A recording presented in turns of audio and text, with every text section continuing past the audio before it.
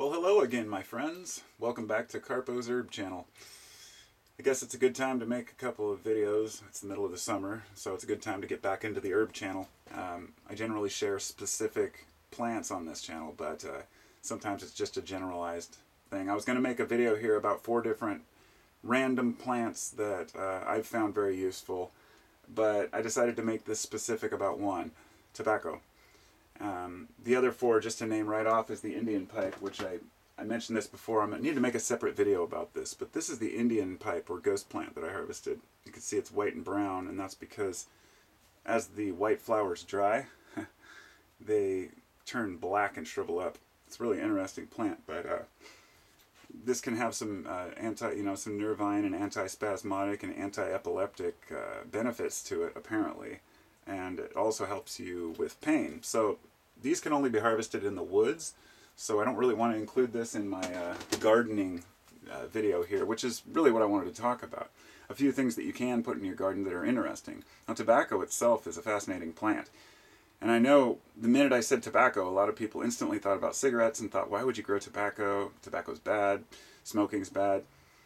You're right, I smoked for 25 years before I quit and started vaping. I've been vaping for a few years now, and eventually I'll quit that. But uh, smoking cigarettes uh, regularly, like a pack a day, is a horrible thing to do.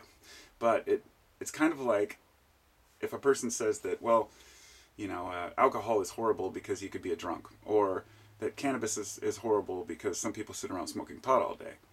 Uh, in smaller amounts, it can be a benefit for some people when they need it. Now, tobacco it was used ritually before it was used as a you know as a regular smoking. In fact, you know the Turkish in, introduced you know the Europeans to the tobacco, but um, there was also wild tobacco, several different species growing in the New World. They just have their own way of making it. So when you hear the term Turkish tobacco, the reason why it's usually darker is because of the way that it's sun dried, which actually alters the chemistry of the plant. Um, here in the U.S., we grow most of ours out in Virginia way, you know, and uh, it's usually a pretty standard, you know, Virginian tobacco. They've got their own type that they use, but um, the tobacco industry is huge, and they would like you to think that you can't grow your own. And that's the reason I'm making this video is because you can grow your own, and it's completely legal. And there is no place, uh, there's no federal law that says you're not allowed to cultivate tobacco. And this is interesting because, for example, I read an article the other day from Australia where they busted somebody with a million dollars, $1.2 million worth of uh, tobacco, illegal tobacco plants. There's a huge black market over there because nobody's allowed to grow their own tobacco. And so the people who do are breaking the law.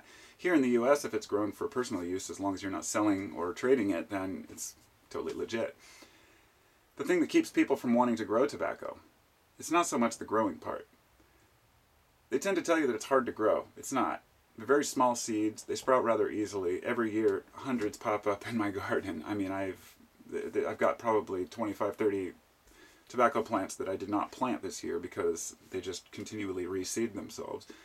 And uh, so I actually had have two different kinds. I'll show you the seeds, what they look like. But I just found this packet I had, and I had two different kinds that I was growing. Havana and Mohawk. If you get up really close here, you can see these seeds are ultra tiny, just like powder almost. Uh, so the Havana, the Cuban tobacco, that's very difficult to grow up here in the Northwest. I've tried and uh, I've been able to grow it, but the Mohawk tobacco grows much faster, and that's what I have, uh, or much better out here anyway, and that's what I have drying here. So when you're growing tobacco, if you're growing it for harvesting the leaves, you'll want to pick the flowers off of the top. And right now I have this little, they haven't sprouted yet, but these little flower bunches, they haven't opened up yet, but once they do, they bloom and then they turn into seed pods and there's tens of thousands of seeds per plant. So you never run out of seeds. But it has such an interesting smell. But if you pull the tops off, then the plant continues to produce more leaves. So if you're growing for seed, leave it. If you're growing for leaf, take the flowers off. And it will continue to produce more leaves there's a couple different ways. Some people harvest all the plants at the end of the year, but some people harvest each leaf as it's as it ripens, which is the method that I'm trying since I have a smaller garden. Here's a torn up one, but um, this is a Mohawk tobacco leaf I harvested yesterday as kind of a prop to show you, and um, the drying part, these will hang here for probably a couple of months. Uh, I'll probably move them to a different area. Right now I'm just stringing them up. But they will be air drying for, for a couple of months. And after that, they will be uh, cured and the fermented or whatever I choose to do. And for different types of tobacco, um, it can take two to three years for the full process to get really good stuff. If you're curing uh, the Havana tobacco to roll cigars, I mean, each leaf has to be preserved flat, has to be done properly so it can still have enough flexibility to roll into a cigar, but not so much that it's, um, you know, rubbery. Um, and that is a skill. I mean, to be able to make cigars. So I had some tobacco I harvested a couple years ago, and it was had been cured, but I tossed it recently because I wasn't going to use it. Some of it had molded, and it's it is a little bit of work. But here's the thing: ten dollars a pack of cigarettes. I'd think that more people would be growing their own tobacco. I mean, it's a grow your own world out there with cannabis. At one time, tobacco was affordable, of course, but um, you know, with the vast amount of taxes they have on there, I would think more people would grow their own. Uh, but they're probably scared of it or think it's illegal or aren't aware of how easy it really is, but mostly afraid of the curing part probably. So if you started one year, then by the next year you could have some tobacco ready and continue on that process. So basically, if you start one year, um, you know, you might have a continual supply of tobacco forever. Now, me just say this that's not in most people's interest because most people who smoke probably want to quit smoking eventually and don't want to get into that. Another reason of growing tobacco is because if the shit ever hits the fan, pardon the expression, tobacco is going to be an extremely valuable commodity. I mean, I've always been the prepper type. I have dehydrated food. I have a giant water thing for my tub that I can fill up, and I, I like to be prepared for anything that could happen. I want to be self sufficient if the lights go out tomorrow. And having tobacco to barter in a situation like that would be just priceless. But I haven't even gotten to the main component here, which is that that's just the cigarettes aspect or the smoker's aspect. This is ritual tobacco. Okay, so your average tobacco is maybe 1 to 3% nicotine tops. This stuff here is 6 to 9%. It's like, I think, 8 points, up to 8.6% nicotine. This stuff, it'll mess you up. It'll kill you if you eat enough of it. I mean, any tobacco would. But I have this book here, which is one of my favorite books. Mm-hmm the Encyclopedia of the Encyclopedia of Psychoactive Plants, Ethnopharmacology and its Applications. And within this 10 pound book, several hundred pages, there's 20 pages of t- tobacco. And it goes on to uh, the one, you know, this is Nicotiana rustica, which is the, it'll have little yellow flowers on it. But there's several different cultivated, you know, uncultivated wild tobaccos, and they all have their own unique characteristics. But I just wanted to read this part here says the effects. Um,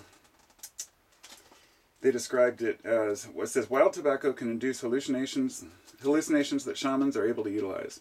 Wilbert has distinguished the hallucinations wild tobacco produces among the Warao Indians on the basis of their phenomenological effects. Dreamlike and chromatic, multisensual perception, brilliant occurrences of light, intuitive knowledge and spontaneous insights, soul escort by a psychopomp, Psychopomp was the ancient Greek uh, person who would take you to the dead.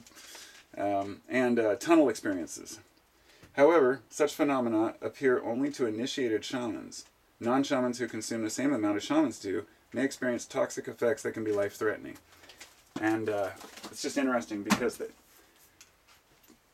these are ceremonial, you know, uses for a lot of these cultures, and um, several different methods um, snuff. They make you know snuff is like the powder, but they also make this like liquid nicotine snuff kind of stuff that they put in this little stick and go, you know, inhale it, and it's supposed to put them in these trance-like states.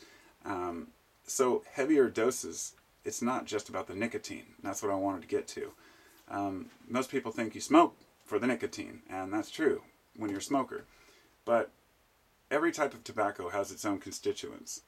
Uh, many compounds that are not as well known, some that are, but tobacco itself, wild tobacco has over 900 known constituents.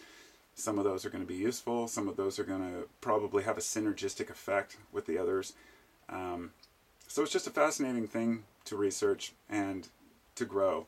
So if you were ever curious about growing tobacco in your garden, it's really easy, and you can order seeds from anywhere. Uh, I think the place I got mine, if I'm not mistaken, was Victory Seeds, but that was several years ago. I've been growing it uh, off that same seed batch since then. But I don't take it too seriously. My garden out there is it's doing pretty well, but it's not, of course, meant to feed me all year. My my whole purpose of, of gardening is to get myself my green thumb up and keep it, you know, keep it functional, uh, because I I feel like something might happen one day. And knowing how to grow your own food is going to be an essential part of that. And if you can grow food along with tobacco and cannabis, which are two very easy things to grow, uh, then you'll always have something to barter with. So, those are just my thoughts on it, and hopefully, just for the sake of mentioning cannabis, YouTube doesn't decide to delete my video. You know, I shouldn't even go there, but um, I was gonna. Uh, I was going to mention kratom if I was to go all through these. You know, kratom. I live in the northwest. Growing it up here is very difficult. Even so, the alkaloid content is going to be different than the tropics. You know, the hours and of day and the, the amount of alkaloids, the type of alkaloids.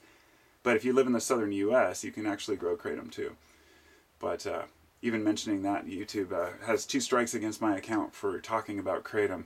So I feel like even making a video about tobacco you know, that somehow it's going to be censored or taken off because I'm discussing something that may be dangerous.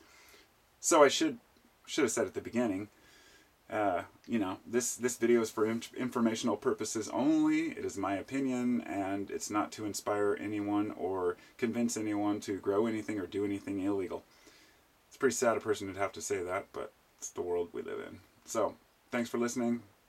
If you've grown tobacco, let me know how you feel about it and what your experiences have been, what types you've grown. And um, yeah, that's about it.